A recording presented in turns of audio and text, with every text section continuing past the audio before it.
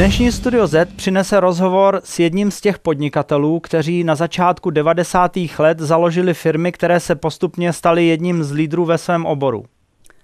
Když v roce 2006 koupil největšího středoevropského dodavatele kancelářských potřeb firmu Papirius jeho americký rival, mohl si spoluzakladatel této firmy začít konečně užívat rodinného života anebo se třeba věnovat svým koníčkům. On ale dodnes pracuje možná ještě intenzivněji než tehdy.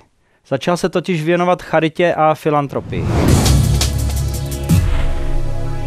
Pozvání do Studia Z přijal businessman Petr Sikora. Dobrý den. Dobrý den.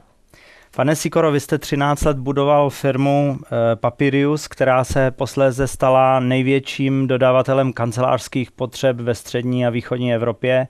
Měli jste obrat um, přes miliardu korun a 600 zaměstnanců. V roce 2006 jste ji prodali americké korporaci Office Depot. Mm-hmm. Um, jak dnes žije Petr Sikora? Podobně a zároveň jinak. Uh, Petr Sikora žije dobrým manželem, dvěma malými kluky a, a snaží se být hodně venku. Uh, vy jste mi před začátkem našeho rozhovoru říkal, že hodně cestujete, velkou část času trávíte i v zahraničí. Uh, zmiňoval jste Nový Zéland. Proč vás Nový Zéland tak láká?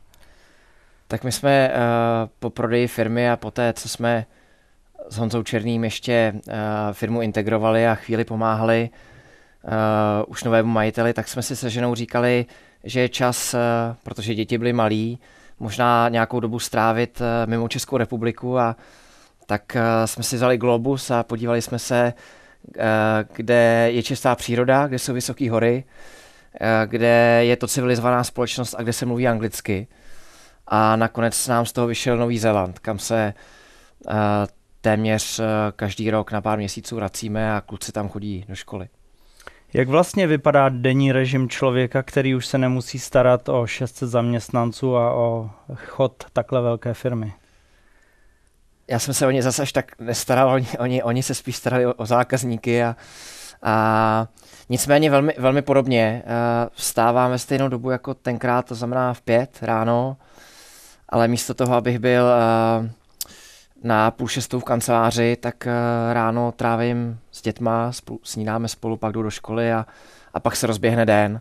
A ten den je, ten den je podobný, jako, jako býval, to znamená uh, schůzky, e-maily, debaty, uh, nějaký čas na čtení a, a jak jsem říkal v tom úvodu, tak uh, kus na čerstvém vzduchu a buď, buď, si, buď si ten kousek vykrojím a jdu, si zaběhat, nebo jako dneska, když se vidíme, a, a je hezky, tak, eh, tak, tak místo auta vezmu, vezmu kolo, abych se trochu dostal na vzduch. Takže podobně, podobně. Eh, my se zabýváme eh, investicemi a ekonomikou a tak jsem se vás chtěl zeptat, jak jste investoval část svých prostředků z prodeje papíria? No mě trvalo po prodeji firmy, mě trvalo několik let, abych pochopil, že jsem spíš podnikatel než investor. A jako investor bych se považoval za nedůvěřivého investora. A mám poměrně široký uh, seznam věcí, kam jsem si řekl, že nebudu investovat. Uh, a především jsou to veškeré obchody na burze, a akcie a, a finanční produkty, protože mám pocit, že jim nerozumím. A naopak uh, principiálně jsem schopen žít s podnikatelským rizikem, ať už jako majoritní akcionář nebo i minoritní akcionář. Protože prakticky podniká od malička, od 18 let. A, a pak bych ještě, ještě řekl, že uh, s těmi penězi příliš nepracuju. Uh, my jako rodina podstatnou část z nich necháváme ležet, podnikatelskou energii nasměrovávám na dobrýho anděla a na další projekty se nekoukám, pokud mi vysloveně nepřijdou pod nos. Ne, nevyhledávám je. Jinými slovy, zájemci o investici vašich peněz za vámi přicházejí s nějakými návrhy? Občas přicházejí uh, a mám teď řádově asi 5-6 uh, eh, kritérií. To nej, nejkurioznější z nich uh, je to, že pokud toho člověka neznám, což znamená, že jsem byl někdy u něj doma, tak s ním nebudu investovat. což, což je kritérium, jak určitě posluchači si domyslí a, a jistě taky, který, který jsme přidali po jedné nepříjemné zkušenosti. A, a zkrátka se tím chce jenom říct to, že uh, pokud investovat, tak s lidma, který znám. A, a pokud být u nějakého startupu, protože to jsou věci, které chodí nejčastěji, tak pouze v případě, že by ho sám dělal. Uh, takže investičně se na startupy například teď nekoukám vůbec. A jelikož teď dělám dobrého anděla a ještě, ještě chvilku ho dělat chci, věnovat se mu, tak uh, teď, teď nový podnikání uh, na horizontu nevidím. To neznamená, že mě něco ne, nepraští přes nos, až, až pojedu odsud, ale, ale je to nepravděpodobný. A které investice se vám osvědčily? Které jste udělal, které investice, které jste udělal, byly dobré? Uh, tak úplně na, na počátku jsme udělali, uh, investovali do nějakých bankovních produktů a ty se neosvědčily, tak od té doby jsme se stáhli a jsme úplně, úplně konzervativní.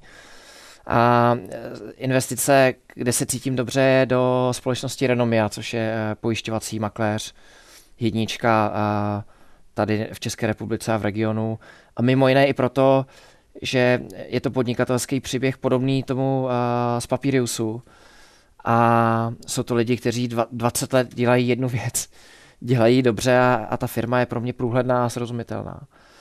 A tak to je asi, to je asi ta dobrá, která stojí za zmínku.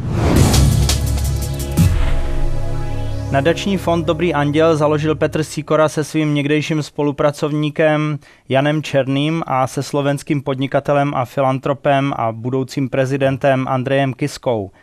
Dobrý anděl se zaměřuje na eh, pomoc rodinám, kde jeden z členů onemocněl onkologickým onemocněním.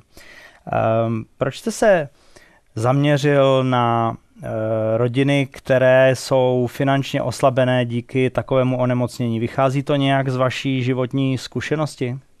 Na začátku toho byla přednáška návštěva Andreje, Andreje Kisky v České republice, kdy eh, před skupinou podnikatelů líčil svůj podnikatelský a, a následně filantropický příběh. A tenkrát Honza Černý a já jsme byli spíš nastaveni na nový podnikání, míněno nové podnikání za účelem dosažení zisku. A co se nestalo, ten projekt, který tenkrát už asi čtyři roky výborně fungoval na Slovensku, nás oslovil tak, že jsme si řekli, že něco takového by stálo za to přinést do České republiky. A tak jak jsme byli zvyklí i na papíra kancelářské potřeby si sáhnout. To znamená na začátku a dlouhý roky jsme ten papír fyzicky dodávali a vyskladňovali a dělali všechno, co bylo potřeba, tak i tady jsme šli a, a přes e, nadační fond Krtek, který působí při e, brněnské onkologii, dětské onkologii, jsme se seznámili s prvními rodinami a začali jsme jim místo dobrých andělů posílat pár tisíc korun měsíčně a, a a zejména jeden z těch příběhů byl natolik dramatický, a jasný a vážný, že jsme pochopili, že něco takového je v České republice potřeba. Protože pokud máte rodinu s dětmi a buď dítě nebo jeden z rodičů dostanou rakovinu, tak kromě zdravotních starostí a e, psychického e, tlaku, tak ta rodina řeší celou řadu logistických, organizačních, ale i finančních problémů, protože obvykle vypadne zcela nebo částečně jeden příjem a zároveň naskočí některé další náklady. No a tak tím pádem jsme si s Černým řekli, že to vlastně nemůžeme neudělat, a, protože Slováci to vymysleli dobře, organizačně, marketingově, strategicky to vymysleli dobře a, a tak jsme si řekli po té zkušenosti s těmi prvními rodinami, e, že to zkusíme v Čechách udělat taky.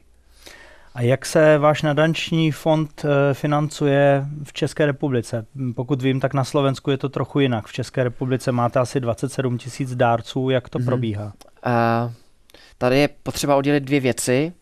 Jednak financování provozu a nadačního fondu jako takového. A to financujeme půl na půl s Honzou Černým. Dohromady jsme si na to vyčlenili 25 milionů korun. A a po zhruba dvou a půl letech uh, jsme utratili něco málo přes polovinu, nebo investovali něco málo přes polovinu, chcete-li. Takže to je jeden uzavřený okruh. A druhý okruh se týká dárců neboli dobrých andělů a rodin neboli příjemců. A Tam ten systém funguje tak, že dobří andělé se zaregistrují a poté si nastaví měsíční pravidelný příkaz na libovolnou částku, každý kolik chce a kolik může, kolik považuje za přiměřený.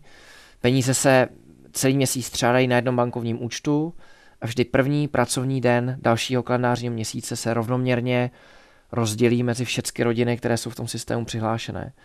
Těch rodin je momentálně, tuším, 1265 přibližně, protože jsme rozdělovali před pár dny.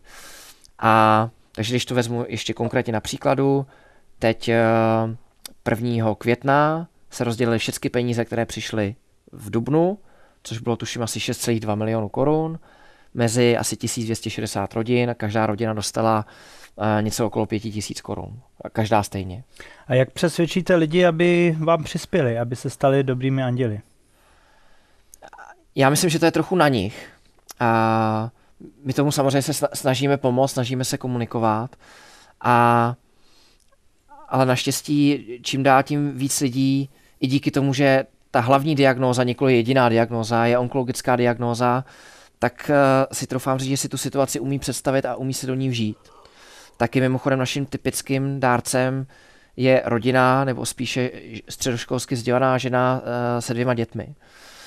A, a pak samozřejmě, a to určitě nemá cenu zakrývat, uh, výsledky, které jsme udělali s Papiriusem, to, že jsme že už za sebou máme jeden projekt, který vzniknul, probíhal a úspěšně pokračuje, ani bych neřekl, že dopadl, ale ten příběh dál žije, tak uh, když jsme oslovili partnery a, a média a představili jim tu myšlenku, tak, uh, tak ta podpora od spousty lidí byla veliká. Takže spoustu lidí nám s tím pomohlo. Poměrně častým argumentem pro ty, kteří neziskovým organizacím nepřispívají, je ten, že mají pocit, že ty prostředky často jdou hodně na celou tu byrokracii a na celé to fungování těch organizací a že hmm. se ty, ta finální částka, která se dostane k těm potřebným, je relativně malá. Eh, jak, co si o tom myslíte? Jak jste to řešili u vás?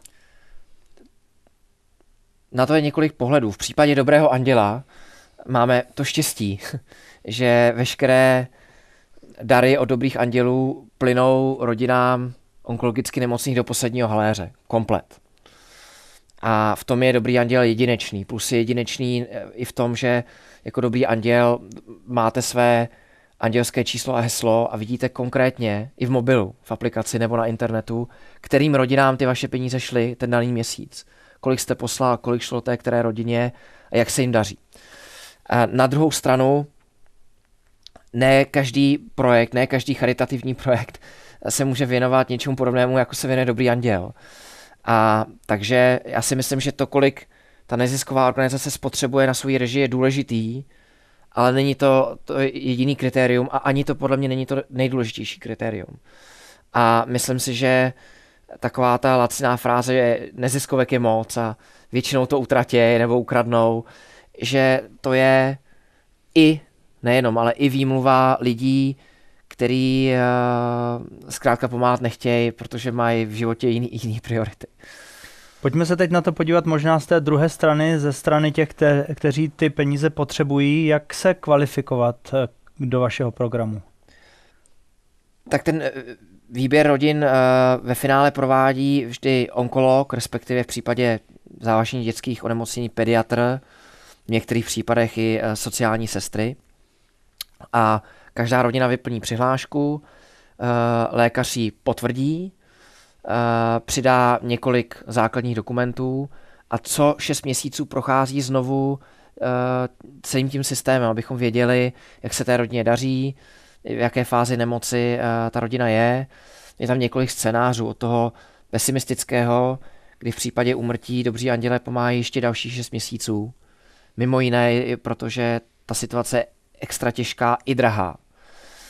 V případě vyléčení, respektive ukončení té intenzivní části péče u dětí, dobří andělé pomáhá ještě další dva roky, protože celá ta věc je složitá. Děti často ještě nechodí do školy, nemůžou do veřejné, veřejných dopravních prostředků a když mají zvýšenou teplotu, tak nejdou k obvodnímu lékaři, ale, ale rodiče s nimi letí rovnou na onkologii. Takže ono, ono to období je náročný. Takže rodiny se kvalifikují výhradně přihláškou schválenou lékařem. Vy jste hovořil o tom, že vás na začátku inspiroval projekt Andreje Kisky. Ehm, může to, že vyhrál prezidentské volby na Slovensku, nějakým způsobem vašemu projektu pomoci? Jak se na to díváte? Abych vám pravdu řekl, vůbec nevím. Vůbec nevím. Já si myslím, že to je, to je jako meč, který má dvě ostří. On může trochu pomoct a může i trochu uškodit. A, a tou otázkou se moc nezabývám. A to, co, to, co je pro mě důležitý, a možná je to stojí za to říct, když už Andrej ty volby vyhrál, že já jsem Andrej jako podnikatel, jako člověka, který nám a, takhle dobrýho anděla naservíroval, dobrýho anděla naservíroval na stříbrném podnose a který, když uh, jsem něco řešil nebo potřeboval, tak jsem mu zavolal a ať byl kde byl, když řešil prezidentskou kampaň, tak mi pomohl nebo poradil. A jestli nám pomůže to, že je slovenským prezidentem, nevím a myslím si, že moc ne. Vy krom Dobrého anděla také podporujete školu v severní části indického Himaláje. Řekněte nám něco víc o tomto projektu. A to už, to už spíš patří minulosti, nicméně se ženou Jindrou jsme ten projekt podporovali velmi rádi a dál ho sledujeme. Je to projekt mimořádný, je to projekt školy v indickém Ladaku v nadmořské výšce 4200 metrů s, s, kde 80 dětí ze stá neumí číst. Ta škola je postavená tradičním způsobem, ale zároveň využívá ke svému ohřevu protože je tam 6 měsíců v roce zima, solární energii. A, a my jsme s Jindrou pomáhali jednak uh, poměrně výrazným dílem zafinancovat stavbu té školy a první, tuším, že dva roky jsme z velké části financovali ten provoz, zejména mzdy učitelů a, a nějaký základní věci, aby, aby, aby ta škola mohla fungovat. Možná, že tady je dobré připomenout, že to je český charitativní projekt. Ano, ano, občanského združení Surya který ale pokračuje v tuhle chvíli. Pokračuje a pokračuje úspěšně a mimochodem jedna velká výzva je tu školu tam vůbec postavit, ale druhá ještě větší výzva je tam udržet dlouhodobě kvalitní výuku a, a to, se jim, to se jim daří. Já se vás možná chci teď zeptat na takovou trochu filozofickou e, stránku e, vašich filantropických aktivit. E, někdy úspěšní biznismeni jsou velmi často přísní meritokraté. To znamená, jsou přesvědčeni, že když si dokázali pomoci oni sami sobě, že by mohli i ostatní být přičinliví a mohli by si pomáhat a mohli by se o sebe postarat. Um, vy takovéhle uvažování asi nemáte. Jak se na to díváte teď, když děláte několik let charitu? No, kdybychom tady spolu seděli tak někdy v roce 2006, tak by tady před vámi seděl stoprocentní meritokrat, rozdělující lidi na, na, zjednodušeně řečeno, na lidi, kteří umějí a chtějí a na ty, kteří jsou buď líní nebo nešikovní, míněno v pracovně podnikatelském prostředí. A, a od té doby postupně jsem navnímal to, že to nefunguje až tak docela stoprocentně, že pokud věříme tomu, že každý je svýho štěstím strujcem, tak zároveň tím implicitně říkáme, že každý je svého neštěstím strujcem. A to tak úplně není. Když tady odsud odejdu a, a spadne mi cihla, cihla na hlavu, tak, tak se můj život takhle otočí zůru nohama. A, a s nemocí, s nemocí v rodině a s nemocí dětskou, to na, například tak je. Takže ta, ta, my tu společnost se snažíme stavět do značné míry meritokraticky. Já myslím, že v zásadě je to dobře, ale to, že máme všichni stejnou startovní čáru nebo stejný a rovnocenný podmínky, je iluze. A ta iluze, když se dotáhne do extrému, tak si myslím, že je trochu nebezpečná.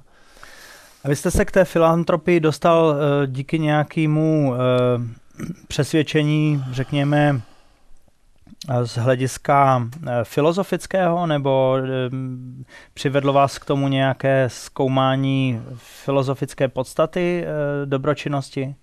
Rozhodně, rozhodně. Už řadu let studuju, v mém případě je to východní uh, filozofii a, a kde se samozřejmě o pomoci druhým uh, hovoří tak, jak, tak jako v naší tradiční uh, uh, křesťanské filozofii a křesťanské náboženství. Takže, takže ve filozofickém rozměru rozhodně, plus i podnikatelsky. Uh, je to nesmírně zajímavé, protože spustit, rozvíjet a vést charitativní projekt je velmi podobné, jako založit uh, firmu jako takovou. A ten rozdíl je překvapivě malý. Já bych dokonce tímto chtěl vyzvat uh, podnikatele, kteří nás poslouchají nebo vidí, anebo lidi, kteří se podnikateli teprve stanou, že uh, v neziskovém sektoru je podle mého názoru ještě víc příležitostí a ještě víc děr a skulinek, kde je potřeba něco udělat, než, než, než je v tom eh, prostoru eh, podnikatelským klasickým. Jaký je podle vás vztah Čechů nebo českých eh, bohatých biznesmenů k filantropii a k charitě obecně? Myslíte Mož... si, že se vyvíjí hmm. třeba s postupujícím časem? Je potřeba otevřeně říct, že tady sedíte s optimistou a tudíž to, co vám řeknu, je zabarvený mým pohledem na svět, ale já si myslím, že když začnu od toho segmentu bohatých lidí, že uh, ti lidé potřebovali nejprve ten majetek nakumulovat, něco si dokázat. A v další fázi postupně někteří z nich, někteří dřív, někteří později, někteří vůbec, dospějí k závěru, že, že s tím majetkem se dá dělat i jiné věci, než to, že si koupíte třetí auto nebo desátý auto nebo třetí barák nebo, nebo letadlo. A, a že, že se zkrátka za ty peníze a, a především za tu energii, schopnosti a kontakty, které ty lidi mají, dají pořídit mnohem zajímavější věci. A to si myslím, že se děje. Eh, děje se to postupně, nevím, jestli to česká veřejnost vnímá, protože já sám uh, tisk a média tolik nesleduju, nebo nesleduje průběžně, ale, ale tak, jak s těmi lidmi mluvím a, tak, a, a ty případy kolem sebe vidím, tak já jsem v tomhle směru do budoucna obrovský optimista. Ale obrovský. Myslím si, že ten trend bude ten, že řada lidí pověsí buď na chvilku nebo na, dlouhou dobu podnikání na hřebík a, a vezme si nějaký problém, který je jim blízký a pokusí se ho vyřešit na pomezí uh, filantropie a podnikání nebo, nebo filantropicky. Vy jste začal podnikat v 18 letech a firmu jste budoval 13 let. Co vás přimělo k tomu, že jste v jednu fázi rozvoje té firmy eh, celý ten projekt opustil a rozhodl se ho prodat a věnovat se na čas něčemu úplně jinému? Tak my jsme dokonce tu firmu ještě pomáhli budovat dalších pár let potom a rádi. A je to kombinace několika věcí. Určitě sem patří dobrá cena, určitě sem patří velmi kultivovaný a solidní kupující, což se projevilo jak, jak v průběhu toho vlastního procesu, uh, který byl velmi důsledný, protože Office Depot je veřejně obchodovatelná společnost a, a due diligence byla monstrózní. Nicméně uh, to, co bylo důležité a krásně, že to, co jsme si dohodli na začátku v term sheetu, platilo i uh, v době uzavření té transakce. A, a dokonce i poté, co my jsme v té firmě dalších několik let zůstali a do, dokonce ještě teď.